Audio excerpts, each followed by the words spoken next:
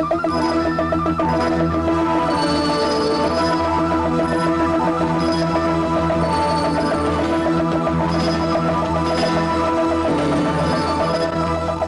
videotape will demonstrate how to machine or chase tapered pipe threads.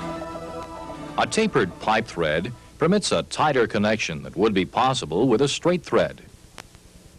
As with other thread forms, tapered pipe threads have a standardized system, the American Standard Taper Pipe Thread Series.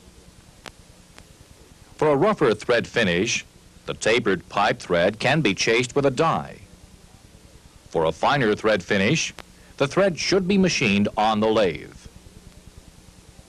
After you have viewed this videotape, you should be able to identify the safety precautions to be observed when working in the machine shop and cutting threads on the lathe, use the correct nomenclature for tapered pipe threads, and describe the setup and procedure for machining an American Standard taper pipe thread on the lathe.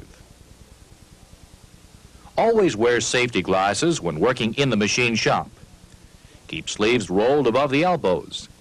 And remove rings, watches, and other jewelry. The proper nomenclature of tapered pipe thread includes the thread angle, which is the included angle between the sides of adjacent threads. On tapered pipe threads, the thread angle is 60 degrees the same as that of unified V threads. Thread pitch is the distance from a given point on a thread to the same point on the next thread. The pitch is the reciprocal of the number of threads per inch. For the 3 quarter 14 thread to be machined in this demonstration, the pitch in inches is 1 divided by 14, or 71 thousandths. The crest is the top surface that joins the two sides of a thread. The root is the surface that connects the bottoms of two adjacent threads. The crest and root of the tapered pipe thread are slightly flat or truncated. Thread depth is the distance from crest to root of a thread measured at a right angle to the thread axis. For tapered pipe threads, the thread depth is 0.8 times the pitch. The truncation of the root is produced by grinding a small flat on the tool nose, square to the length of the tool, that is a width equal to 0.033 times the pitch. The taper of the American Standard pipe thread is 3 quarters of an inch of taper per foot. Nominal pipe size is a designation given to the pipe that has no reference to the exact dimension of the pipe. The outside dimension of the pipe is found by either measuring the pipe or by referring to the table in the machinery's handbook. The pitch diameter of the tapered thread, like that of a straight thread, is the diameter between the two pitch lines. The pitch line is that point on a thread where the cross section of the thread and the width of the groove are equal.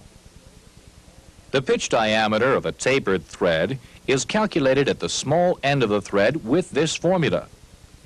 Pitch diameter at the beginning of the thread is equal to the major diameter at that point minus the quantity 0.050 times the major diameter plus 1.1 times the pitch of the thread. The length of a taper thread can be found in the machinery's handbook. The large end of the taper thread will have approximately two slightly imperfect threads, which will not accept a mating part. The length of effective thread plus the length of the imperfect thread gives the length of taper that must be cut on the end of the pipe. To machine a tapered thread on the end of a pipe, mount the pipe in a lathe chuck. The squared end of the pipe may be supported by a pipe center or a live center. Set the taper attachment to cut a taper of 3 quarter inch per foot. And machine a taper on the end of the pipe equal to the effective thread length plus the length of the imperfect thread. For 3 quarter inch diameter pipe with 14 threads per inch, The length of taper to be machined at the end of the pipe would be 793 thousandths. The major diameter at the small end of the pipe should be 1 inch 25 thousandths when this taper has been cut to length. A threading tool ground to a thread angle of 60 degrees and having 0 degrees back rake is used to cut the thread. The tool nose is ground slightly flat to a width of 0.033 times the pitch. For a 3 quarter 14 tapered thread, the pitch is 71 thousandths. So, 0.033 times 71 thousandths gives a tool nose width of 2 thousandths. Swivel the compound to 29 degrees to the operator's right to machine these threads. The same as for machining 60 degree V threads. Place the center gauge against the outside diameter of the pipe on a straight portion of the pipe and align the threading tool in the notch of the center gauge. This aligns the tool square to the axis of the work with a tool at center height. The thread will be cut to the proper depth with the taper attachment engaged. Make certain that the backlash is taken out of the taper attachment. To do this, run the tool off the end of the work to remove the backlash and then bring it back toward the headstock. Reset the spindle to a low RPM for threading and set the quick change gearbox to cut 14 threads per inch. Engage the clutch.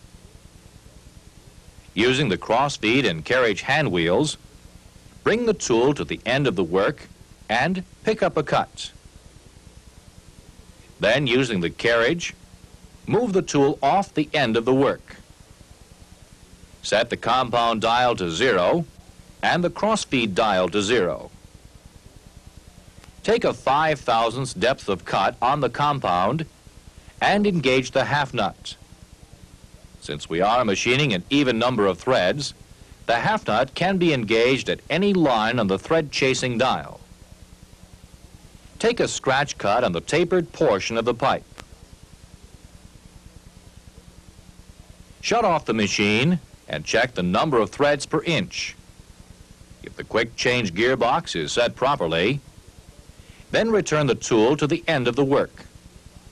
Return the cross feed to zero, lubricate, and continue taking cuts with the compound until the thread has been machined almost to size. Clean the thread. Now check the threads with a taper thread gauge or try the mating parts when a perfect thread appears to be forming on the small end of the taper.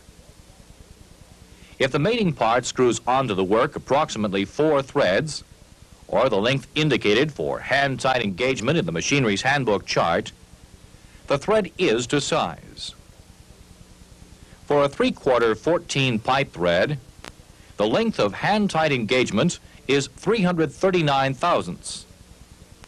If the mating part will not screw onto the thread this length, lubricate and continue machining until it will do so.